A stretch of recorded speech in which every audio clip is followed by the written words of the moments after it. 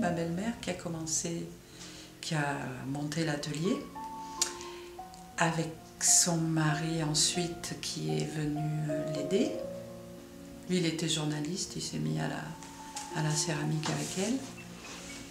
Ils travaillaient d'abord dans leur appartement, et puis au troisième enfant, il n'y avait plus de place. Alors ils ont loué cet atelier à la naissance de Vincent. Et c'est toujours, euh, on est toujours là, évidemment. Il y a le four là-bas qui a l'âge de Vincent, c'est son jumeau. Et ils ont vécu cet atelier à l'après-guerre, où il y avait beaucoup de, beaucoup de reconstruction, beaucoup de développement artistique.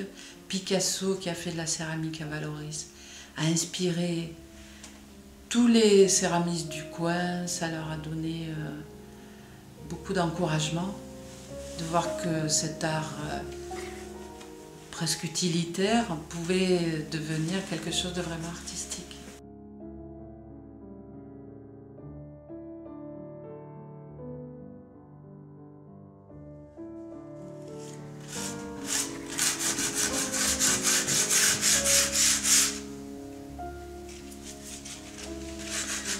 Travaille sur de la terre blanche, curieusement, pas une terre de tradition provençale. Le plus couramment utilisé depuis longtemps dans la région, c'est la terre rouge. Quand mes parents sont arrivés euh, pendant la guerre, ma mère a commencé à faire la céramique. Elle a commencé dans une tuilerie, une petite tuilerie à côté des milles. C'est ce, qui était utilisé par la fabrique. Donc elle a commencé avec ça. Et tous les potiers, en général, qui sont installés euh, à Aix, pendant la guerre et après la guerre, ont utilisé les mêmes techniques qui étaient utilisées depuis, euh, depuis très très longtemps. Il y a 10, 10 céramistes aixois qui sont euh, implantés à Aix, alors que Aix n'est pas du tout une, tradition, une ville de tradition potière. Il y en a beaucoup qui ont utilisé la terre rouge au début de leur carrière et qui ont changé après. Euh, Ben Igza, par exemple, a fait du grès. Euh, Amado a changé de matériau aussi pour faire la sculpture. Nous, on a toujours utilisé de la- de l'argile euh, rouge, qui est de la faïence, qui cuit à entre 1980 et 1050 degrés. Et ça a toujours été le, matériau de base pour, pour fabriquer toute la vaisselle qu'on fait depuis euh, que ma mère a commencé à faire. Formée, je l'ai aidée petit à petit dans les tâches qu'elle n'arrivait plus à accomplir physiquement. En prenant de l'âge, euh, c'est un métier physique fatigant. Donc je l'ai beaucoup assistée, puis remplacée sur certaines tâches. Et puis finalement, euh, à 80 ans passés, elle m'a dit Oh, si tu permets, je viendrai plus t'aider à l'atelier parce qu'elle ne pouvait plus physiquement. Donc c'était la mise à la retraite en douceur et avec bonheur puisqu'elle voyait que l'atelier euh, continuait et qu'il faisait vivre une seconde famille euh, et que ça pouvait durer encore longtemps. Sortir. Oui.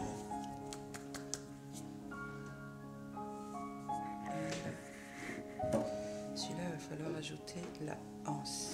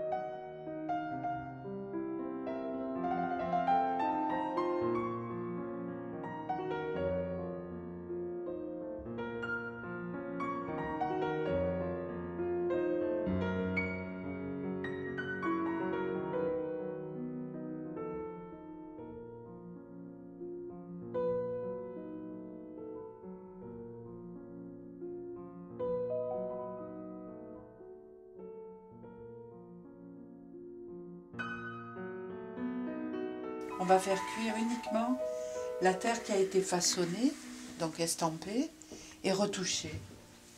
Quand c'est sec, donc on, monte le four. Euh, là, on peut empiler, on peut empiler les, assiettes ou les bols, les mettre l'un dans l'autre.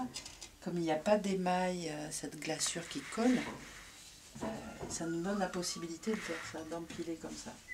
Après, quand le, biscuit aura cuit la première fois à environ 1000 degrés, on pourra l'émailler. Donc on va tremper ces pièces qui sont solides par rapport à ça qui, euh, quand il n'est pas cuit, est, vraiment friable et risque de se briser à tout moment. Donc ces pièces sont cuites, mais elles sont poreuses.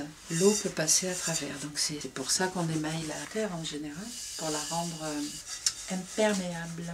Donc pour émailler ces pièces qui sont solides, on va les tremper dans un bain d'émail. Des, produits qui sont déjà raffinés par des chimistes. On les utilise tout près. Exactement tout, tout, tout, tout ce qui compose l'émail, les oxydes métalliques qui donnent la couleur, et ces composants euh, à base de silice qui apportent le brillant et le liant. Donc tout ça, pendant la cuisson, va fondre, va se combiner. Et comme ça, ça va sortir coloré et brillant et surtout étanche. Je bouche avec une petite goutte d'émail la trace de la pince. Ici, les surépaisseurs, les coulures, je les diminue.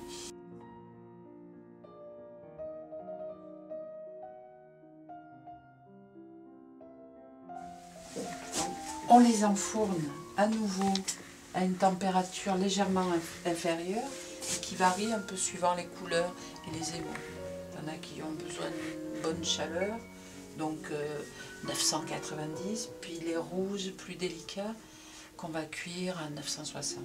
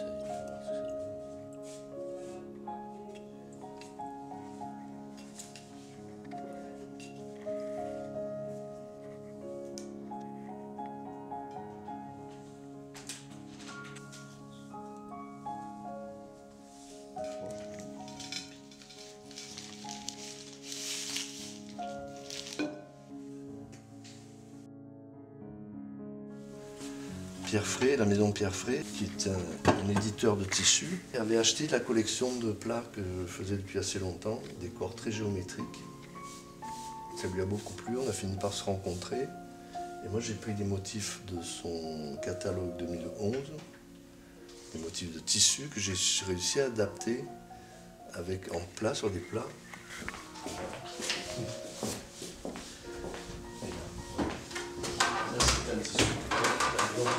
Fait à partir d'un plat qui est euh, par là, Léo. Et on a nommé ça. Léo en l'honneur. De la créatrice de la- de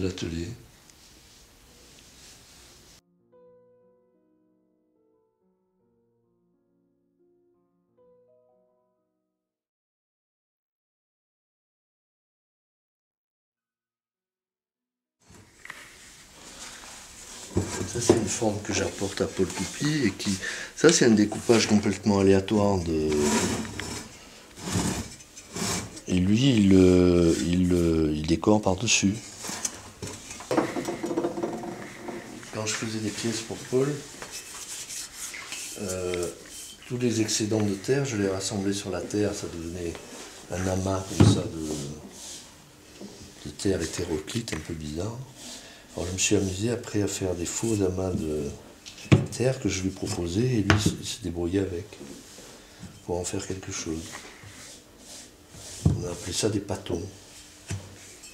Aussi, voilà les formes que je peux proposer. «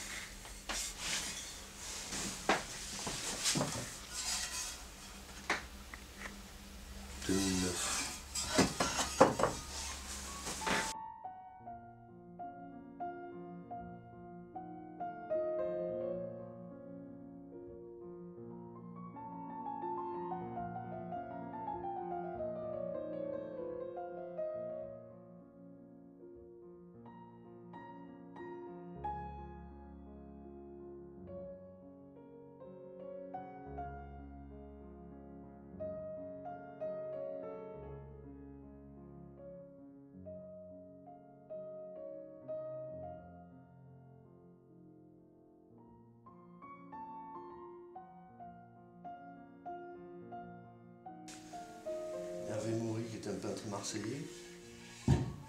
Voilà un exemple de ce que j'apporte, la forme et le peintre qui décore par-dessus.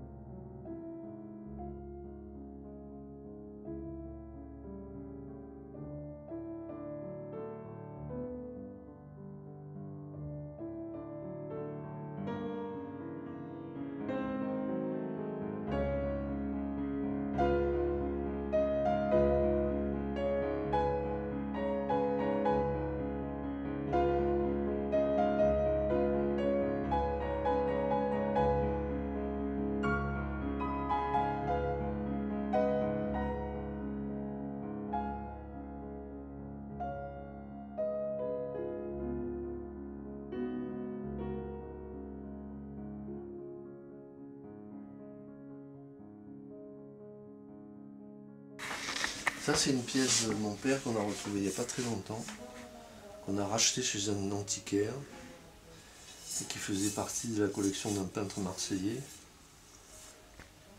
Ça aussi, c'est Jean Fil. Ça, c'est une pièce de Jean Fil. Il y a eu un atelier à côté d'Avignon. Il a fait ce genre de pièce, et ça aussi, cette pièce-là. Il avait un four à gaz, 71, et il utilisait des terres euh, qui pouvaient cuire beaucoup plus haut que la faïence. À côté de ça, qui a été fait dans les années 70, qui était en faïence. Ça, c'est les années 70 aussi. Et ça, ça doit être 50-55. Influence africaine. Ça, c'est influence japonaise, chinoise. En fait, la faïence, c'est euh, beaucoup de, mots de, couleurs différentes. Énormément de références. Contrairement au grès et à la porcelaine, il y, a, beaucoup, ça permet énormément de couleurs. Il peut y avoir des réactions étonnantes euh, entre les, dans la superposition des couleurs. Et mon père euh, recherchait beaucoup ça.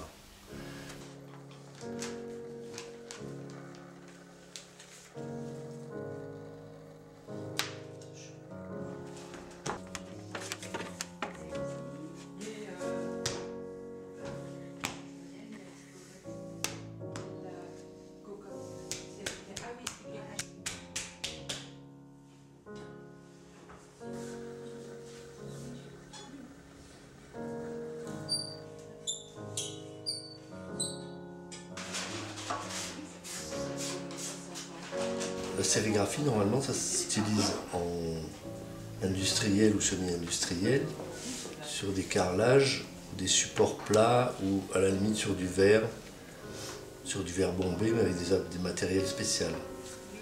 Et là, euh, c'est pas la première fois que ça se fait, hein, je pense, mais j'avais utilisé déjà cette technique il y a longtemps, sur carrelage bien sûr, et aussi euh, j'ai essayé une fois de le faire sur de la terre crue et ça fonctionne, à condition que ce soit à plat.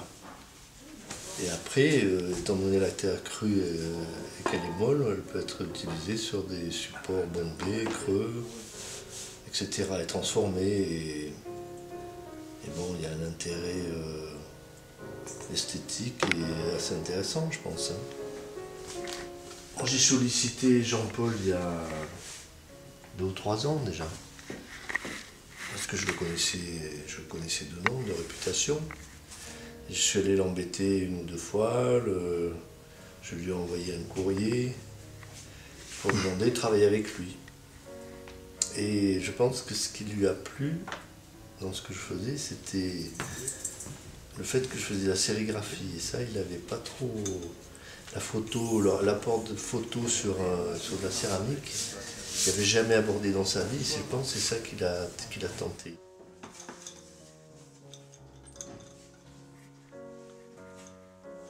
On va le passer directement, je ne sais pas ce que ça va donner. Ouais, on va voir.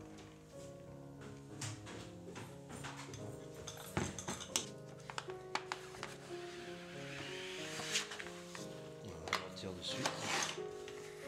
Au départ, ce que je voulais faire, c'est de travailler sur des photos qui restent euh, pour les générations futures, donc des photos sérieuses de, je sais pas, de choses qui se passent dans le monde, ou, des catastrophes, ou des belles choses, que ce soit une preuve pour les, générations futures.